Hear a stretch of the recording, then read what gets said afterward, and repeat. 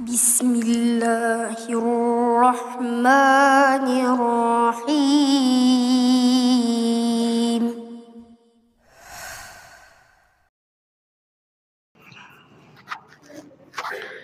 السلام عليكم ورحمة الله وبركاته. بحمد الله والصلاة والسلام على رسول الله. وعلى آله وصحبه ومواله ولا حول ولا قوة إلا بالله وبعد قال الله عز وجل يا أيها الذين آمنوا اتقوا الله حق تقاته ولا تموتن إلا وأنتم مسلمون فإن أصدق الحديث كتاب الله وخير الهدى هدى محمد صلى الله عليه وسلم وشر الأمور محدثاتها وكل محدثة بدعة وكل بدعة ضلالة وكل ضلالة في النار.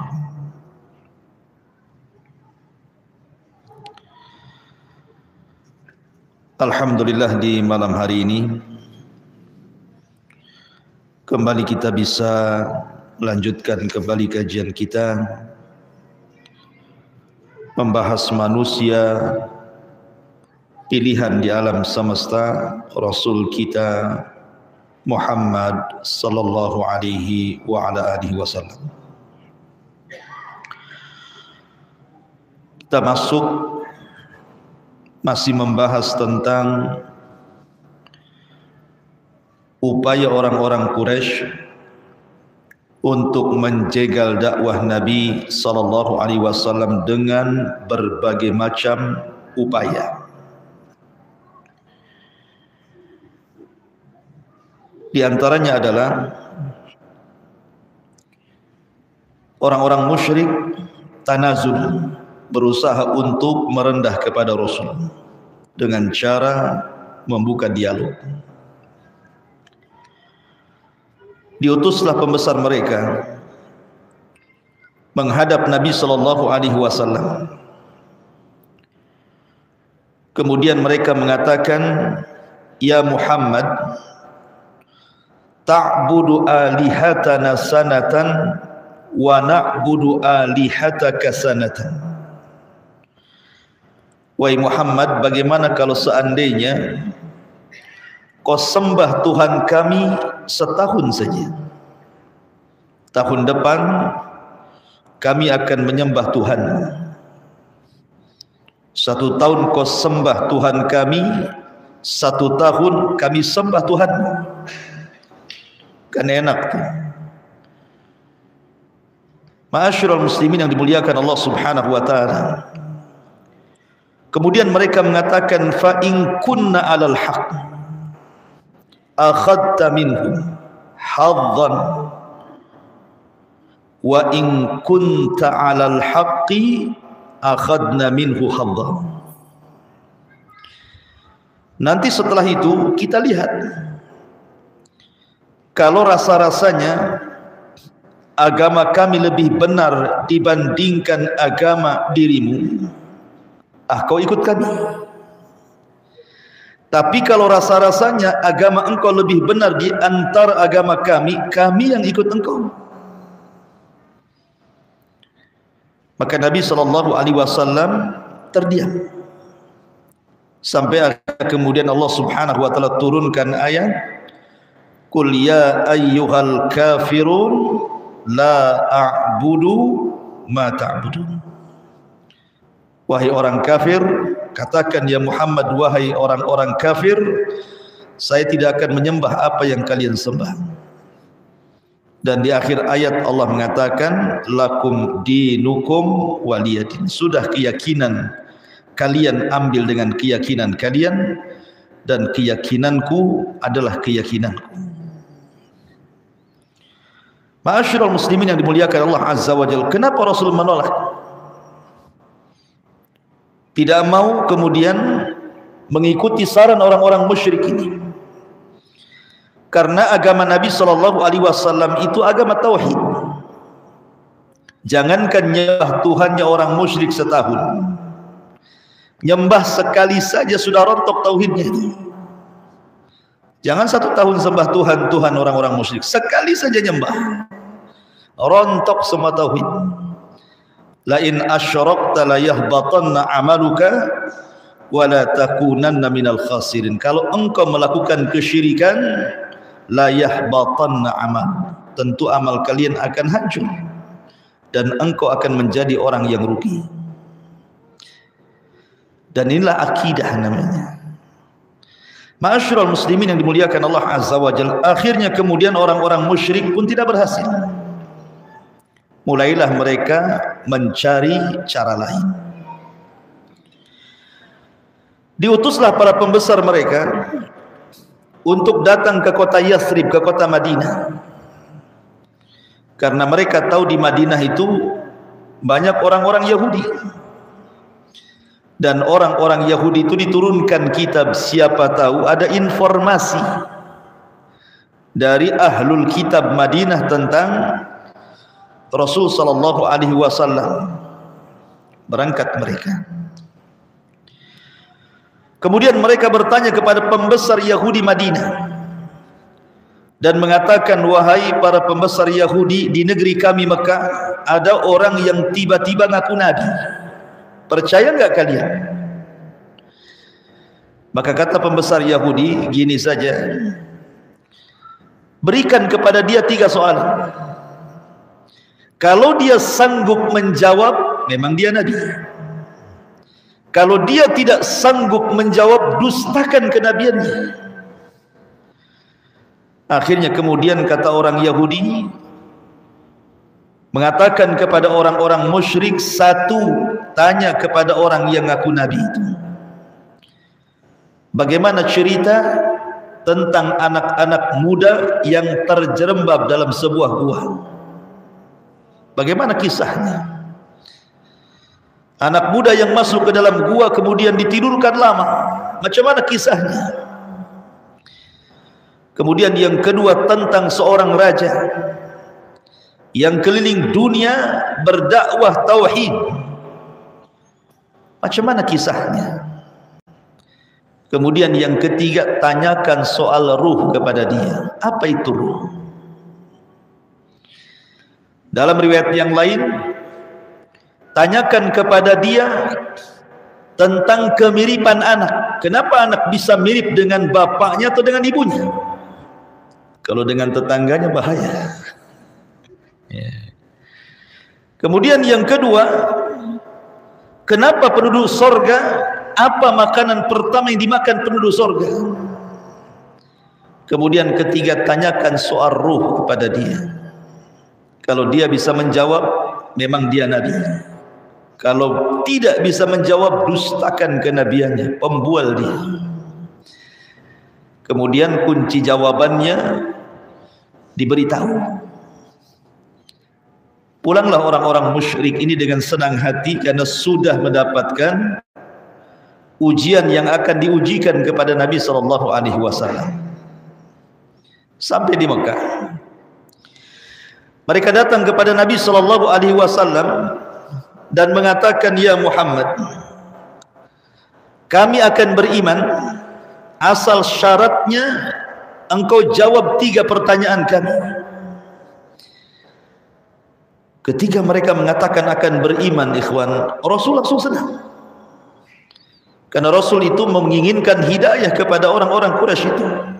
Sehingga Rasul lupa mengucapkan kalimat insya Allah ketika hendak memberikan jawaban. Harusnya Rasul mengatakan insya Allah besok jawabannya. Harus begitu. Ya. Tapi Rasul saking senangnya mengatakan ghadan al jawab besok jawabannya. Kenapa tidak hari itu juga Rasul kasih jawaban?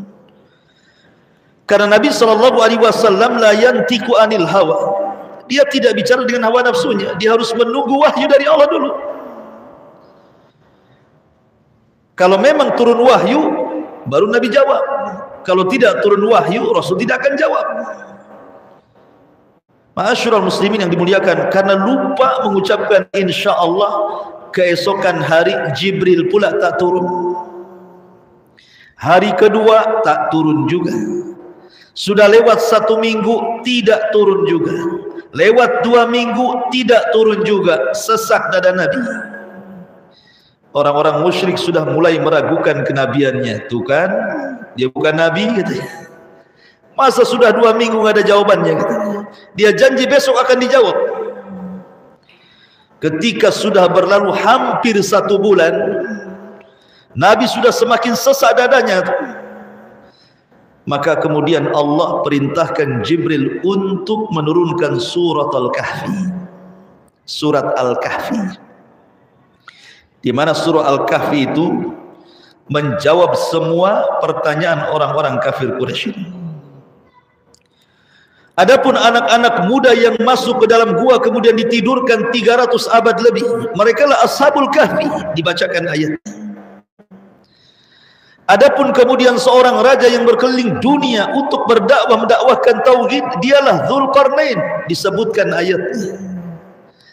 Adapun ruh, maka Allah berfirman yas'alunaka 'anir ruh kulir ruhu min amri rabbi wa ma utitum minal ilmi illa qalila. Mereka bertanya-tanya kepadamu soal ruh katakan ruh itu urusan Rabbku karena Allah tidak banyak memberikan ilmu kecuali sedikit kepada aku. Tidak tahu. Itu urusan Allah. Dalam riwayat adapun yang kalian tanyakan soal anak kenapa pula mirip bapa dan ibunya? Maka Nabi SAW menjawab tergantung hormon keduanya. Kalau sperma suami mengalahkan sperma istri berarti akan mirip bapaknya. Kalau sperma istri mengalahkan suaminya, maka akan mirip ibunya. Ini kalau 50-50, ala mirip keduanya lah kan itu. Dari pusar ke atas mirip bapaknya, bisa saja kan itu. Ma'asyiral muslimin yang dimuliakan Allah Azza wa Jalla. Adapun soal penduduk sorga, apa yang pertama kali dimakan penduduk sorga? Kata Rasul kabidil hut hati ikan paus. Itulah makanan pertama kali penduduk sorga masuk sorga. Yang pertama dimakan hatinya ikan paus. Dan minuman yang pertama diminum wedang jahe. Zanzabil dalam bahasa Arab.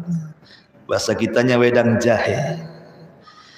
Tapi wedang jahe sorga dengan wedang jahe kita ya beda lah apalagi wedang jahe set-setan kan beda lah. Karena Abdullah ibn Abbas radhiyallahu anhu mengatakan persamaan sorga dengan dunia itu hanya persamaan nama bukan hakikat. Karena sorga itu mala ainun ra'at wala udhunun sami'at wala khatar ala qalbi bashar. Nikmatnya loh tidak bisa dilihat mata didengar telinga terbayang pun tidak bisa. Saking nikmatnya jadi hanya kesamaan nama saja. Hakikatnya berbeda. Ma'asyiral muslimin yang dimuliakan Allah Subhanahu wa taala. Tetapi setelah diberikan jawaban dan jawabannya benar kan mereka menyimpan jawaban kan. Benar jawabannya itu. Tidak juga beriman. A'angzartahum am lam tunzirhum la yu'minun kau beri peringatan dia atau tidak tetap saja degil tidak akan beriman orang-orang Quraisy itu. Gagallah mereka untuk mengatakan Nabi itu seorang pendusta. Masyurul muslimin yang dimuliakan Allah Azza wa Jalla. Kedua gagal. Mulailah kemudian mereka melakukan aksi ketiga Nabi sallallahu alaihi wasallam apabila berdakwah kepada orang-orang musyrik selalu mereka diancam oleh azab. Nabi selalu mengancam kalau kalian tetap melakukan kesyirikan nanti akan datang azab Allah kepada kalian bla bla bla begini begini macam-macam. Akhirnya mereka menagih janji itu. Eh Muhammad, kamu kalau berdakwah kepada kami sedikit-sedikit kalau kami tidak taat kepada Allah dan kepada dirimu akan turun azab. Mana azabnya? Nantang azab dia. mana azabnya kok enggak turun-turun si azabnya katanya maka Allah Subhanahu wa taala firmankan tentang mereka wa yasta'jilunaka wa yasta'jilunaka bil adzab walan yukhlifallahu wa'dah inna yawman inda rabbika ka alfi mimma dan mereka datang kepadamu ya Muhammad meminta disegerakan azab dan Allah tidak mungkin menyelisih janjinya. Dan satu hari kehidupan akhirat dibandingkan kehidupan dunia sama dengan seribu tahun. Dalam ayat yang lain yasta'jilunaka bil adab wa inna jahannam la bil kafirin. Mereka datang kepadamu meminta disegerakan azab. Sesungguhnya jahannam akan meliputi orang-orang kafir. Digambarkan mereka seperti itu. Mengolok-olok Rasul. Mana azabnya? Kok enggak tukur turun-turun. Gitu ya. Ini kan istihza mengolok-olok Nabi sallallahu alaihi wasallam dan macam-macam mereka lakukan kepada Nabi SAW sampai akhirnya mereka datang kepada Abu Talib. Mereka sudah tidak ada jalan lagi mengancam untuk membunuh Nabi sallallahu alaihi wasallam bahkan mengancam siapa pun yang melindungi Nabi termasuk pamannya Abu Talib. Diancam akan dibunuh. Lah akhirnya kemudian karena sudah marah nih para pembesar Quraisy ini berkumpullah Fir'aunnya umat ini siapa? Abu Jahal kemudian Umayyah kemudian Mughirah Al-Walid pembesar-pembesar Quraisy ini berkumpul. Kemudian mereka sepakat Bani Hashim dan Bani Al-Muttalib semakin hari semakin melindungi si Muhammad itu. Ini tidak bisa dibiarkan. Lalu bagaimana caranya? Akhirnya terjadilah konsensus kesepakatan. Kalau begitu kita boikot saja mereka. Karena mereka sudah melindungi si Muhammad kita boikot. Supaya mereka kembali kepada kita dan mereka sendiri yang membunuh si Muhammad itu. Terjadilah pemboikotan. Di mana mereka menerapkan satu larangan keras untuk tidak berhubungan dengan Bani Hashim dan Bani Al-Muttalib satu tidak boleh menikahi wanita-wanita Bani Hashim dan Bani Muttalib karena dua kabilah ini sudah melindungi si Muhammad. Yang kedua, mereka mengatakan tidak boleh jual beli dengan mereka. Yang ketiga, tidak boleh duduk-duduk ngobrol bersama mereka. Yang ketiga, yang keempat, tidak boleh bergaul dengan mereka. Yang kelima, tidak boleh masuk ke rumah-rumah mereka. Yang keenam tidak boleh bicara dengan mereka. Yang ketujuh tidak boleh menerima sulhah perdamaian dengan mereka. Dan yang terakhir tidak boleh ada rasa kasihan sedikit pun dengan mereka. Akhirnya sepakat seluruh kabilah Quraisy memboikot dua kabilah yang melindungi Nabi. Bani Hashim dan Bani Al-Muttalib. Diboikot. Berapa tahun? tiga tahun. Kemudian hasil rapat mereka ini ditulis dalam sebuah kertas. Kemudian diletakkan di dalam Ka'bah. Bahwa ini perjanjian bersama antar kabilah untuk memboikot Bani Hashim dan Bani Muttalib. Selama perjanjian tergantung di Ka'bah ini, maka selama itu pemboikotan tetap berlangsung. Akhirnya kemudian berlainulah pemboikotan ini sampai tiga tahun lamanya. Akhirnya kemudian mereka pun mulai kelaparan. Sampai dikatakan hatta akalu awraqas syajar sampai mereka memakan daun-daun pohon wal julud dan kulit. Wa wa wa wasalu ad-dharra wal faqr sehingga banyak di mana-mana terjadi kemiskinan dan kefakiran. Hatta sami'at aswatun nisa'i wassibyan sampai wanita-wanita anak-anak kecil bayi-bayi menangis kelaparan. Di boykot tiga tahun. Ketika sudah sampai tiga tahun rupanya adalah orang-orang Quraisy itu walaupun bukan pembesar mereka kasihan. Ini sudah lewat tiga tahun. Mereka makin hari makin miskin makin kelaparan banyak penyakit dan begitu seterusnya. Ada seorang yang bernama Hisham ibn Amrin ibn al-Harith dari Bani Amir ibn Lu'ay dia kasihan. Bagaimana bisa? Mungkin bahasa kita tega-teganya kabilah-kabilah Arab itu memboikot dua kabilah ini. Mereka sudah makan dedaunan. Mereka sudah susah kelaparan. Terkadang mereka diberi boleh membeli sesuatu dari orang-orang Quraisy itu tetapi harganya dimahalkan. Sampai mereka tidak sanggup beli sehingga mereka hanya bisa memberi makanan itu harus keluar ke Yaman, ke Syam dengan modal seadanya. Sehingga tidak cukup bagi mereka untuk dimakan. Maka ada orang yang namanya Hisham ibn Amr ibn Haris ini kasihan. Memang dia bukan tokoh besar tapi juga satu di antara tokoh-tokoh Quraisy. Dia berfikir akhirnya dia berangkat kepada Zuhair ibn Abi Umayyah al-Makhzumi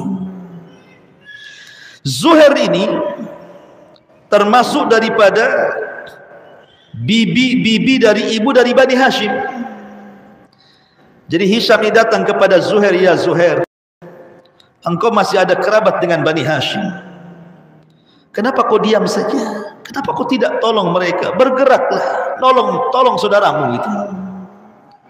Kata Zuhair ya Hisham, macam mana aku akan nolong mereka? Aku sendirian. Kalau kau bisa carikan kawan. Akhirnya Hisham pun kemudian mencarikan kawan datanglah kepada Al-Mut'im ibn Adi dan mengumumkakan keinginannya supaya membatalkan perjanjian pemboikotan itu. Akhirnya Mut'im ibn Adi setuju. Kata Mut'im bin Adi, cari lagi yang bisa mendukung kita. Akhirnya Hisham pun kemudian mencari lagi datanglah kepada seorang yang bernama Bukhtari ibn Hisham. Dan dia pun setuju. Kemudian disuruh mencari orang lagi yang sepaham dengan dia.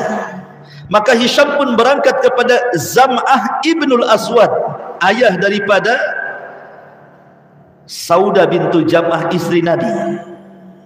Akhirnya setuju juga. Kemudian terakhir datang kepada Suhaib ibn Abi Umayyah. Akhirnya setuju juga. Ketika sudah ada lima atau enam pembesar ini setuju untuk pembatalan pemboikotan itu. Akhirnya Hisham ibn Amr ibn Haris ini mengajak teman-temannya untuk tawaf di Ka'bah. Setelah tawaf, maka mereka berteriak, "Ya ma'syara Quraisy!" Sesungguhnya perjanjian ini kezaliman. Sebaiknya dihapuskan. Biarkan Bani Hashim dan Bani Muttalib bebas. Datang Abu Jahal si Fir'aun ini apa kata Abu Jabal? Kadzabta. Dusta engkau. Wallahi la tusyak. Demi Allah tidak boleh perjanjian itu dirobek. Berkata Jamah dan mengatakan anta wallahi akdzab. Kalau kami dusta, engkau lebih pendusta wahai Abu Jahal katanya. Oh, mulai lawan-lawanan sesama mereka. Akhirnya kemudian yang lain mengatakan engkau benar. Memang Abu Jahal itu sangat pendusta. Yang lain mengatakan iya benar dia pendusta. Yang lain mengatakan iya benar pendusta. Kan sudah ada rapat sebelumnya. Akhirnya Abu Jahal dikeroyok lah kan. Kemudian Abu Jahal akhirnya bertanya, "Oke. Okay, apakah engkau sudah mengikuti agama si Muhammad?" Mereka mengatakan, "Tidak, tidak ada urusan kita dengan agama dia. Ini urusan kemanusiaan." tiba-tiba Abu Talib datang ketika mereka sedang berdialog itu Abu Talib datang apa kata Abu Talib Ya Aba Jahlin. Wahai Aba Jahl. Sini saya ingin ngomong kata Abu Talib. Anak saudaraku Maksudnya Nabi SAW Ingin menghabarkan kepada kalian lewat diriku. Sesungguhnya perjanjian itu sudah terobek dengan sendirinya. Allah Subhanahu wa taala sudah mengutus rayap-rayap dan memakan kertas perjanjian itu sehingga tidak tersisa kecuali ismullah.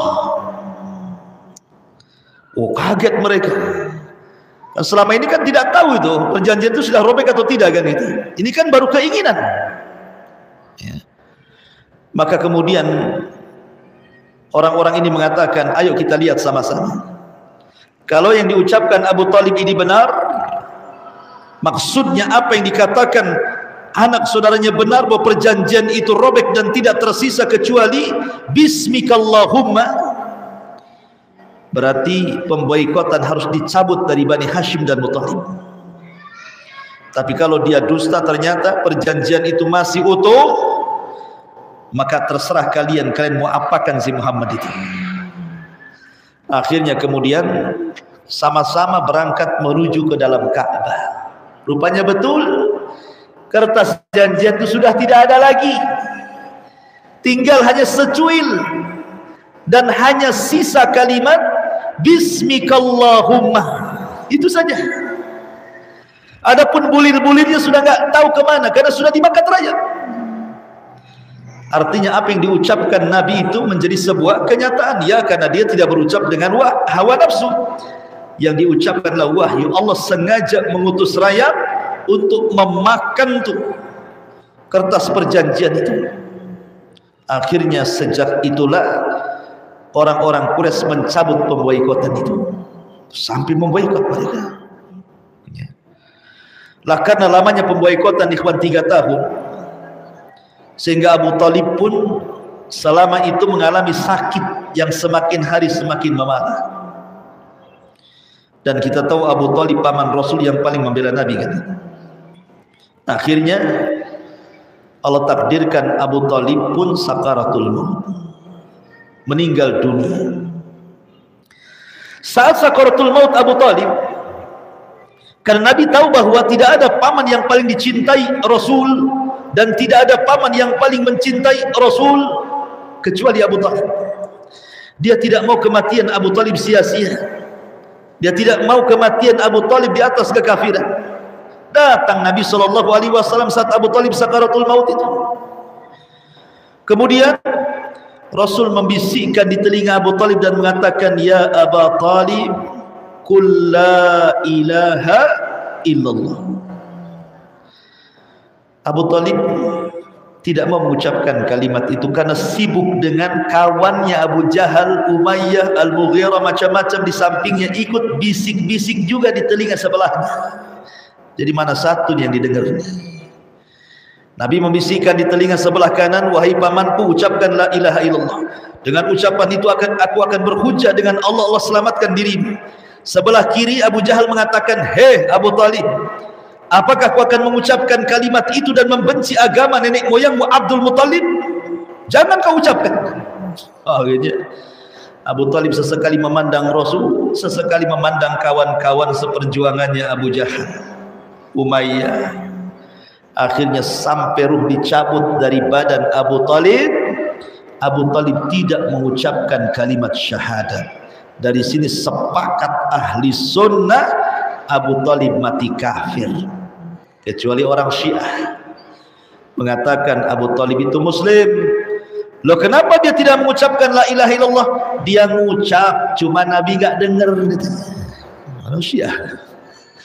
Kenapa karena seluruh imam-imam 12 Syiah itu turunan Abu Abu Talib. Ali Abu Talib bapaknya kan. Nikah dengan Fatimah lahir Hasan Husain. Dari Hasan lahirlah Hasan Al-Musanna dan Zaid. Dari Husain yang sisa anaknya Zainul Abidin.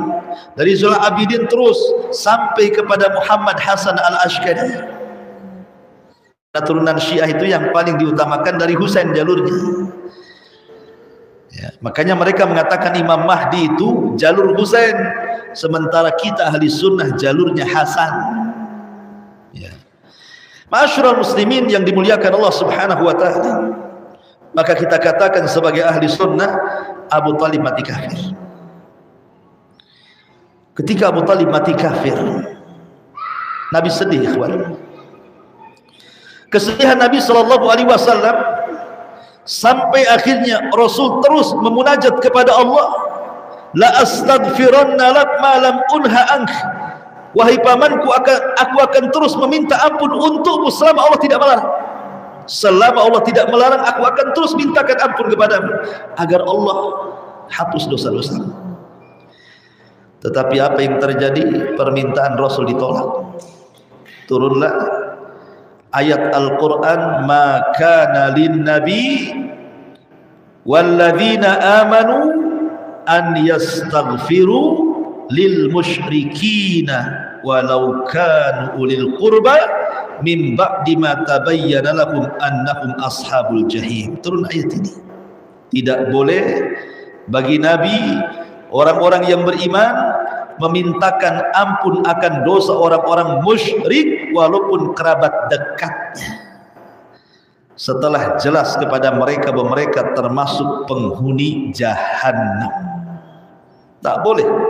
Kalau ada kerabat antum meninggal dan agamanya musyrik tidak boleh kita minta ampun untuk dia. Walaupun dia orang tua sendiri. Kalau mati musyrik mati kafir tidak boleh. Lah ketika itu Abbas ibn Abdul Muttalib Abbas itu datang kepada Rasul. Abbas saudara Abu Talib. Ya Rasulullah bukankah perjuangan Abu Talib sudah banyak memperjuangkan Islam dan membela diri? Akankah perjuangan Abu Talib selama hidupnya membela agamamu bermanfaat untuk dia di akhirat kata Rasul sallallahu alaihi wasallam Abu Talib fi dhahzahim minan nar. Laula ana lakana fi darkil asfali minan nar. Ya Abbas sebenarnya Abu Talib itu dipindah oleh Allah nerakanya. Yang tadinya dia digulung neraka oleh ombak neraka kalau bukan karena diriku tentu Abu Talib akan berada di intip neraka yang paling dalam. Tetapi aku meminta Allah agar diringankan azabnya maka Abu Talib diletakkan di neraka yang paling dangkal. Hanya satu setara dengan mata kakinya saja. Nerakanya itu sampai mata kakinya saja. Tapi itu cukup untuk mendidihkan kepalanya satunya dapat sifat orang kafir hanya Abu Talib. Makanya Rasul mengatakan kalau bukan karena diriku, tentu dia sudah masuk ke neraka dan menempati intip neraka yang paling dalam. Ma'asyiral muslimin yang dimuliakan Allah Azza wa Jalla. Eh rupanya di tahun yang sama kesedihan Nabi sallallahu alaihi wasallam rupanya ditambah oleh Allah dengan kematian Khadijah. Pamannya meninggal, istri pula meninggal. Ini penderitaan Rasul yang luar biasa. Karena dua manusia ini yang selama ini memperjuangkan dakwah Nabi. Abu Talib dengan jabatannya sebagai pemimpin Arab dan Khadijah dengan hartanya. Kalau harta dan jabatan ini bermain untuk dakwah kepada Allah pasti dakwah itu akan lancar didukung oleh pejabat, didukung orang kaya, lancar dakwah itu. Tapi kalau pejabatnya tidak dukung, orang kayanya tidak dukung, stres dakwah itu. Jangankan antum, Nabi sampai-sampai ketika meninggalnya Abu Talib dan Khadijah tidak ada tameng lagi. Orang-orang Quraisy sudah mulai berani. Kurang ngajar dengan Nabi sallallahu alaihi wasallam, menghina dengan hinaan yang lebih pedas lagi, berani menyiksa para sahabat, mengolok-olok, bahkan sampai ada niat untuk menyakiti dan membunuhnya. Dari sini Nabi SAW sudah tidak ada lagi iktikad untuk mengembangkan dakwah di Mekah lagi. Kayaknya sudah bisa, nggak bisa ini. Dengan meninggalnya Abu Talib dan Khadijah ini menyempitkan dakwah Rasul di Mekah. Kayaknya harus cari areal baru nih. Akhirnya Nabi SAW terpikirkan untuk mencari areal baru. Berangkatlah Rasul ke mana? Ke Taif. Karena penduduk Mekah ini sudah mulai ngancam-ngancam sampai membunuh. Sementara Rasul masih lemah. Para sahabat juga masih lemah. Mereka berusaha menyembunyikan keimanan. Berangkatlah Rasul dengan pembantunya atau budaknya Zaid ibn Haritha. Berangkat ke mana? Ke Taif. Sampai di Taif, pertama yang ditemui adalah tiga pembesar Taif dan tiga-tiganya adalah bersaudara. Pertama, Abdu Yalil Ibn Amr Ibn Umar Al-Thaqafi. Yang kedua Mas'ud Ibn Amrin Ibn Umar Al-Thaqafi. Yang ketiga Hubaib atau Habib ibn Amrin ibn Umar Az-Zaqafi. Rasul datang nih ketiga orang ini. Tapi apa jawabannya? Ketika Rasul mengatakan saya Nabi, saya Rasul, masuklah kau ke agama tauhid, tinggalkan sesembahan selain daripada Allah Azza wa Jalla. Masing-masing pembesar Taif ini ngomong. Apa ucapannya? Kalau engkau seorang nabi sudah kurobek kiswah Ka'bah itu enggak yakin kau seorang nabi.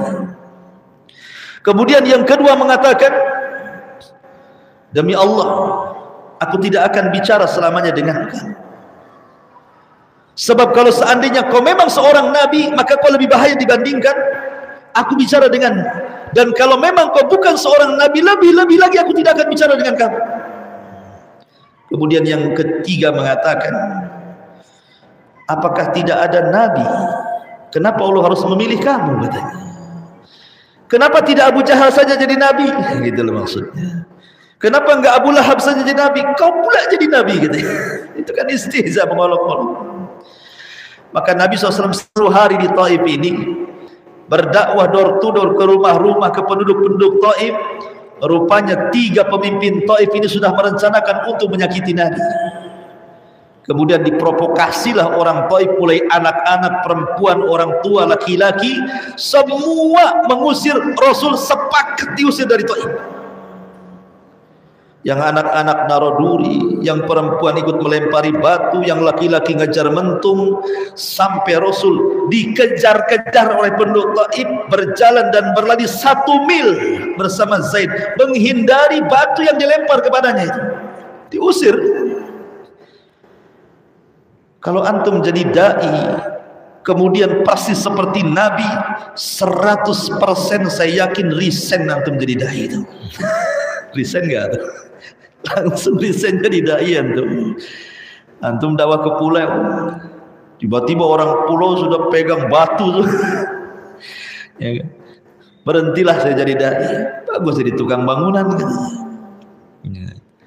Lihat bagaimana Nabi kita berdakwah tidak pernah kayak gini. Kita ini dilempari dengan dengan status saja udah stres kayaknya. ya. Baru dibully saja. Baru dikata-katain saja sudah lemes kita ini. Ini belum batu, baru omongan saja. Itu pun lewat status, bukan lewat omongan. Itu udah sakit hati tuh. Nabi betul-betul dilempari batu. Akhirnya Nabi lari sampai ke perbatasan Mekah. Rasul tidak bisa keluar, tidak bisa ke dalam. Coba bayangkan, mau balik ke Taif dilempari orang Taif, mau masuk ke Mekah nggak bisa karena orang Mekah ngancam bunuh. Mau ke mana lagi coba Rasul itu? Dua-duanya berbahaya. Akhirnya Nabi Shallallahu Alaihi Wasallam kemudian tinggal di perbatasan antara Mekah dan Taif di kebun kurma. Rupanya malaikat Jibril melihat kasihan kepada Nabi. melihat iba macam mana seorang nabi dan rasul orang mulia bisa ditolak dilempari batu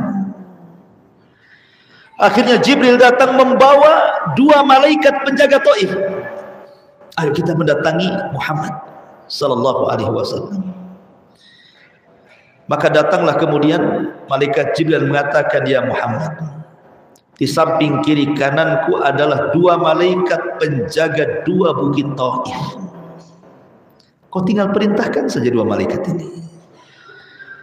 Biar dua malaikat itu mencabut bukit Taif tadi, ditimpakan kepada penduduk Taif yang sudah kurang ngajar kepada. Kalau itu di posisi kita, pasti antum iya lempar saja kurang ngajar mereka itu. Ya. Tetapi Nabi mengajarkan bagaimana as-sabru alal dakwah sabar di atas dakwah wa tawassaw bil haqqi wa tawassaw bis sabr. Apa kata Rasul? Allahumma hdi biqaumin fa innahum la ya'lamun. Enggak. Aku hanya bisa berdoa kepada Allah mudah-mudahan Allah berikan hidayah kepada mereka karena mereka kaum yang tidak tahu aku ini seorang nabi. Kalau mereka nabi tak mungkinlah mereka melempari batu kepadaku dan aku hanya berdoa mudah-mudahan walaupun mereka tidak beriman akan lahir anak cucu-cucu mereka yang beriman kepada Allah dan Rasulnya oh.